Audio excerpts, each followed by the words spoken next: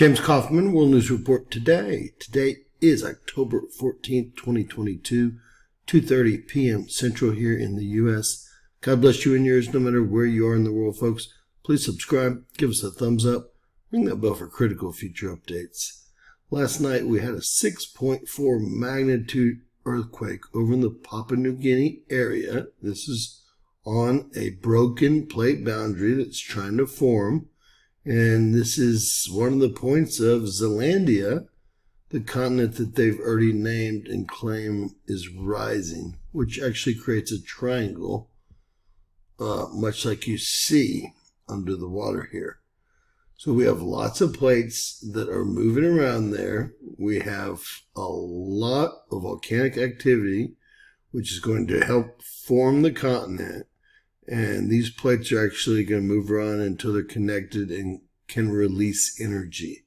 With that said, we're having a huge swarm right now in Hawaii. Yes, that is correct. We've actually had 25 earthquakes in Hawaii, and uh, most of them have happened in the last hour or so. You can see that they're in red.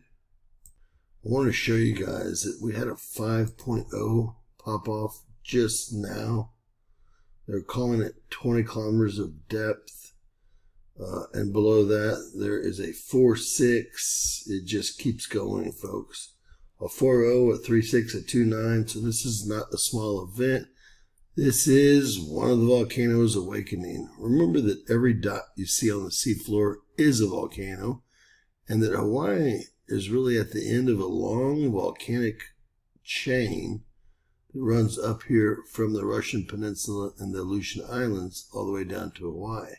Now, if we look at the Hawaiian island from newest to oldest, we can see that there's that big 5.0, and it looks like it had numerous, numerous aftershocks right there. A lot of activity right there for Hawaii for sure. Jumping over to volcanoes and earthquakes.com, we can actually see, we can actually see those plate boundaries right here that are not connecting. You can see all the volcanoes in that area that are awakening.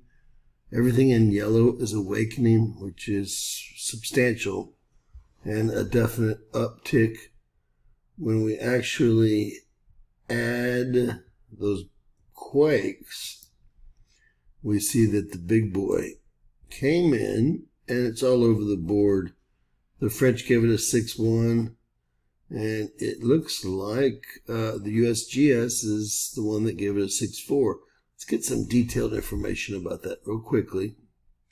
All right, that was a strong magnitude 6.4 earthquake. We do have it confirmed, and it released about 3.8 atomic bombs worth of energy. So it was quite an event for sure. Moving over to the swarm we're seeing in Hawaii currently, the 5.0, we'll get some detailed information that came from the USGS. Go see what they have to say. Volcano Discovery calls it a moderate 5.0 earthquake 34 minutes ago. It was confirmed at a depth of 20 kilometers and it released 477 tons of TNT or the equivalent thereof. These are the ongoing aftershocks 5 minutes ago, 9 minutes ago, 12 minutes ago, 13 minutes ago. You can see they're all very sizable. We're in the midst of the swarm currently. So it does look like we have some plate movement and volcanic activity over near Papua New Guinea, i.e. Zealandia, the continent rising. And we can see that swarm right in the middle of the Pacific there, being Hawaii. It is ongoing. God bless you and yours, folks. Please share, please subscribe. Always remember that anything is possible in Bizarro World. God bless.